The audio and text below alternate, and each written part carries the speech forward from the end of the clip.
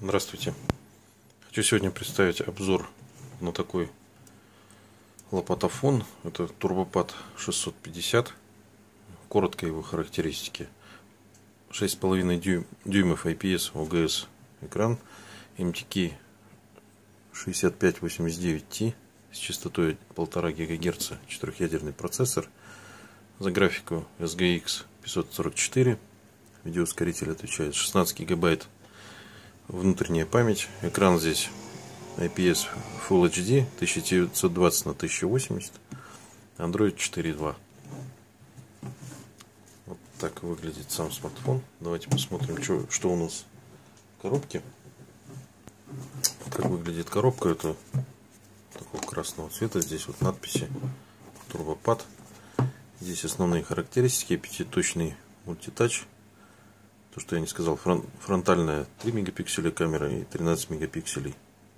Вес его 267 грамм. Смотрим, что, что у нас внутри. Внутри у нас вторая пленка. То есть одна уже наклеена на самом смартфоне.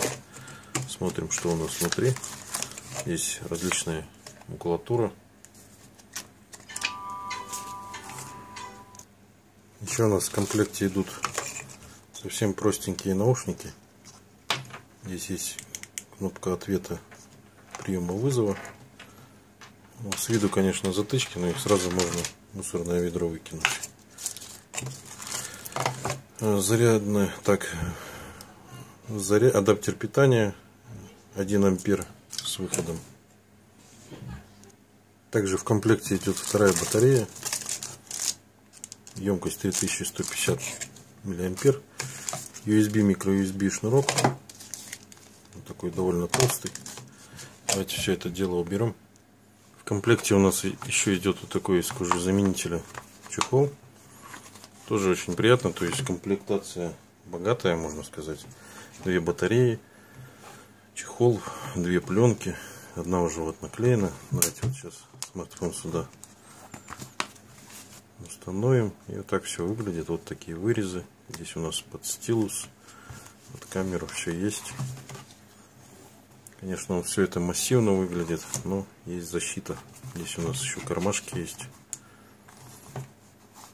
Вот такой, типа накладки такой еще сзади. Смотрим сам смартфон. Давайте его пока включим. С лицевой стороны у нас 6,5 дюйма IPS OGS экрана ОГС, конечно, не самого хорошего качества. Здесь у нас э, динамик э, разговорный, который мне пришлось увеличивать.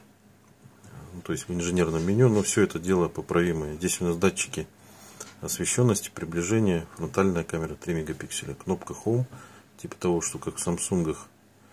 Э, кнопки, сейчас посмотрим, назад, вот они подсвечиваются, и меню, подсветка тусклая. Пленка уже у меня здесь стоит, немножечко скругленные края, вот по краю идут. здесь у нас под такой металл, как бы, ну все, материал, конечно, пластик, по краю идет окантовка такая. Справа у нас кнопка включения и выключения, слева регулировка громкости. В принципе, удобно все расположено.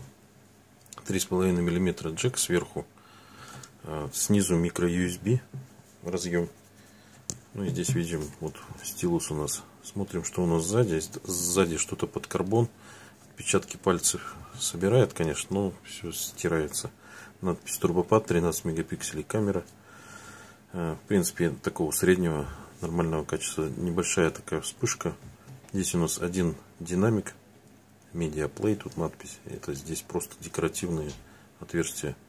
И здесь вот так стилус задвигает. Стилус не как в Samsung, конечно, ноты. Это никто их еще не смог переплюнуть, как говорится. Смотрим, что у нас внутри. Давайте внутрь сейчас крышечку здесь откроем. Внутри у нас вот 3150 миллиампер батарея занимает. Так, мы ее сейчас смотрим. Вот у нас один динамик идет. 3D Sound надпись. Здесь у нас для слот для микро CD. Здесь у нас Э, микро сим, здесь мини сим. Расположение не очень удобное вот для... Сейчас поставим микросим карточку. То есть, в принципе, она вот подпружинивается, заходит хорошо. Но если у нас переходник, то здесь надо было сделать, конечно, ему так лучше. Тогда удобнее было бы вытаскивать. Или какой-то слот более открытый. То есть, когда с переходником вот эта рамка там зацепляется, проблематично все это дело вытаскивается. Или сделали бы две микросим. Но аппарат у нас э, старый, 2012 или 2013 года выпуска. Здесь стоит 2013 год. Вот, давайте все это дело сейчас закроем еще раз, включим наш девайс. В руке лежит, в принципе, удобно. Сначала, конечно, это шок для кого-то 6,5 дюйма, но уже по привык люди из Sony Z Ultra же как-то ходят. То есть по габаритам они немного сопоставимы, наверное. Ну, давайте сейчас он у нас включится. И пока он включается, наверное, характеристики еще раз скажу его. Еще раз скажу, четырехъядерный процессор 6589T, э, четырехъядерный, 1,5 ГГц, э, PowerVR SGX 544 MP видеопроцессор. Размер у меня 1 ГБ, есть еще варианты iNew i6000. Это в Китае, как они известны. Там уже 2 гигабайта они идут. Ну, до сих пор на Алиэкспресс, на различных сайтах наверное, продаются до сих пор. 30, 16 или 32 гигабайта, соответственно. И процессором тоже, по-моему, они отличаются. Может быть. Так, еще у нас внутреннее хранилище уже сказал. Две сим-карты можно а, программно включать, выключать 3G. То есть не надо менять симки местами, если вам 3G нужен. А материалы бывают, э, то есть корпуса, ну, турбопад черного цвета, есть еще и белого, iNew i6000. Экран здесь TFT IPS, UGS 4,45 дюйма, 16,5 сантиметра, разрешение Full HD 1920 на 1080. Но мне кажется, вот, то ли пленка так эффект дает, но не самого лучшего качества, как бы тут не самые сочные такие краски. Плотность разрешения 440 ppi. Компаса нет, акселерометра. Здесь есть датчик приближения освещения, навигация GPS и AGPS, ОТГ. Это мы это дело проверим, поддерживает он или нет. Вот я сейчас подсоединил ОТГ и сразу здесь все появилось. Вот внешний USB накопитель. Все у нас появилось. Ну и поговорить по габаритам, потому что моделей много. 9,3 примерно сантиметра. И по длине у нас 17,4. Ну, все так и есть, как на ФПДА. Так и по толщине у нас что выходит.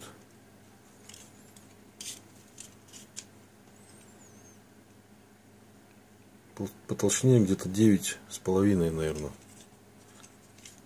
Сейчас вот здесь не видно. 9 с половиной сантиметров достаточно толстенький, можно сказать. Есть поддержка Myrocast, ну, МХЛ здесь нету, беспроводные Wi-Fi, Bluetooth 4.0 и 3G. Вот, смотрим, это у меня уже стоит Google Start лаунчер. Можно его сейчас отключить и посмотреть у нас. Давайте сейчас определяться симки. Что-то симка большая, скорее всего, не определяется иногда. Там что-то, наверное, со слотом, с этим. Вот, сейчас переставил. Здесь еще, вот как бы минус, наверное, это светодиодного индикатора нету, но все решается Exposed Installer и Gravity Box и подсветка кнопок. То есть у меня как они хоть и тускло светят, но все равно хоть видно, что какой-то пропущенный вызов и так далее. Ну, что-то у нас еще с гнездом со вторым.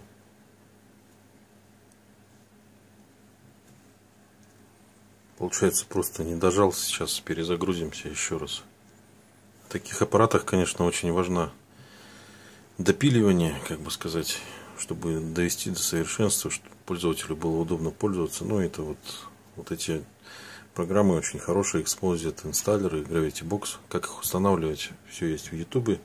на FPDA все можно скачать и установить. И различные настройки есть. Под себя можно настроить и лаунчер, и иконки, и поведение кнопок различных и так далее. Смотрим, так у нас выпадет, выглядит выпадающее меню. А, ну, это у меня Google Start. Очень удобно. Здесь иконки я уменьшил. Сейчас посмотрим, какой был у нас родной лаунчер. В общем, не суть важно, но родной лаунчер мне показался неудобным. Поэтому я установил Google Start. Давайте пройдемся по настройкам. Здесь есть управление сим-картами. Вот у меня. Так что здесь можно настроить цвет фона, установить. Также голосовой вызов всегда спрашивать. Или по умолчанию установить какую-то сим-карту для звонков.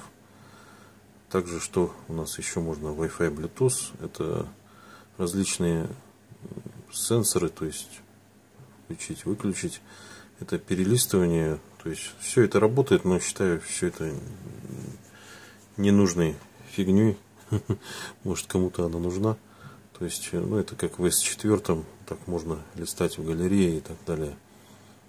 Так, что у нас еще есть? Вот мобильная сеть, вот служба 3G. Включить, выключить можно. Ну вот сейчас выключено. То есть аппаратно можно здесь переключить 3G. Не обязательно переставлять, то есть симку саму. Здесь у нас профили звука. Так что у нас еще есть система для улучшения звука наушников. Но я почему-то отключил ее. Мне показалось, без нее как-то вроде бы как-то получше. Звук здесь, э, кстати, отличный. То есть и на FPDA тоже об этом писали. Яркость принципе, хорошая. И автонастройка у нас есть, и минимальная. В принципе, все здесь с этим хорошо.